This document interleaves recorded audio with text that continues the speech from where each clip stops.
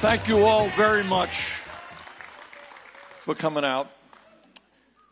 Uh, and let me thank Mississippi Jake for his music,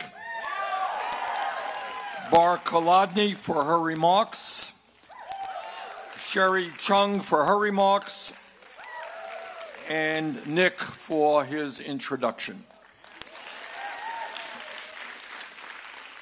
All right, so let me start off uh, by getting you all very nervous.